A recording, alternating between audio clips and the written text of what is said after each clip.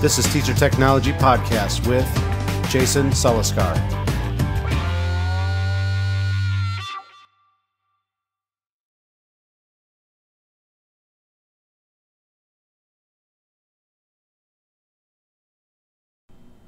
Hello. This is a short overview of what the student perspective is when it comes to Think Central. So what we're going to do is we're going to do log on as a student and kind of navigate around to what they see and what they can do. Okay. So first we're going to do is we're going to go to our regular login, which is this URL right here. And depending on um, how you set it up in your computer lab, uh, you can have the icon on your desktop, icon in public uh, in public share folder. Uh, depending on how your labs are set up, this is the URL, and you can create the link however however you want. So, but that's the link. You can pause it to quickly um, type that in. Uh, except for um, log out, it should read um, log in. So um, just go to Think Central, just type in this part of the URL, and um, you should be okay. So let's get started. So what we're going to do is we're going to log in as a student. Uh, same drop down menus as uh, California, Covina Valley, Rowland Avenue, uh, or whatever school you're at, and then making sure this is checked so it remembers um, these three drop downs. So we're going to log in as a student, and I'm going to pause it just so the student uh, number is not revealed. So I'm going to do that, and I'll be right back.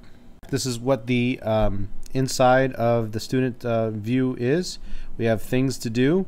We have my test scores we have the library and this pencil that rolls around. So uh, I guess they can play with that for a while. But um, the, the main thing is the things to do is uh, this is where you make those assignments. This is where they can get those assignments. So I've assigned in here for uh, my entire class the uh, Chapter 16 pretest and the lessons that go with Chapter 16.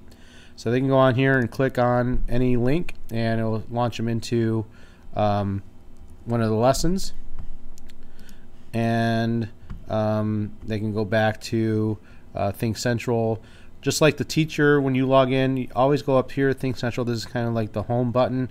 Uh, it's kind of hidden. They, they, didn't tell you anything about it, but I, I kind of accidentally found it one day. So um, up here, if you just click on Think Central, it'll take you back to the main screen. Um, the library, this is where all of their books are um, that you've assigned to them. They have their math book online, their concept readers, their iTools. So they click on here, they can go straight to their manipulatives um, and play around there. Um, the Harcourt Mega Math, and now what's available is their reading book, the new medallion edition of of, of the um, of our adoption. So um, they can click they can click on any one of these and uh, um, start going at it. So they can uh, click on their math book. This is what it looks like. Takes a while to load, so um, uh, give it a few seconds here. I don't know why it does this, but it does. So, um, so again, as it's loading, they, can go on all these different links on the side here, uh, do something. This is their intervention, so they can click on here and go straight to those lessons. Also, from uh, when they're at home, Mega Math. Um, so let's uh, go ahead and click on a unit. We're doing fractions right now, so I'm going to click on fractions. So they can kind of navigate through just like they normally would. Um, lesson one, read and write fractions. And here's their pages. So now they can click on the chapter intervention. They can do any of the activities that go with the chapter. Um, they can do the mega math, uh, vocabulary, any vocabulary that goes uh, with this chapter. They can go click on here and um, read the read the definition and click on other words and or examples.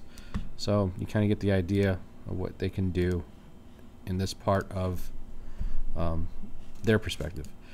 And uh, we have activities. They can do certain activities that go with this particular chapter.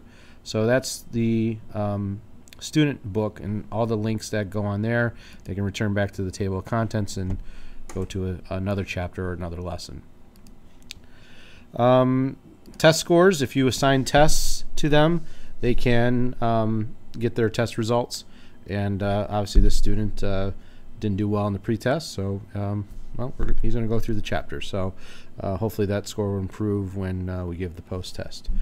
Um, so things to do: test scores, their library, um, Think Central home key gives them back here. Uh, so that, again, they have the same links as they did on the sidebar. Now that's on the home page, things to do, my test scores, library, uh, and a pencil that rolls around. So hopefully that's been helpful for you uh, to see from the uh, student perspective. So when you assign them those assignments through your login, uh, this is what they see and this is what they can do.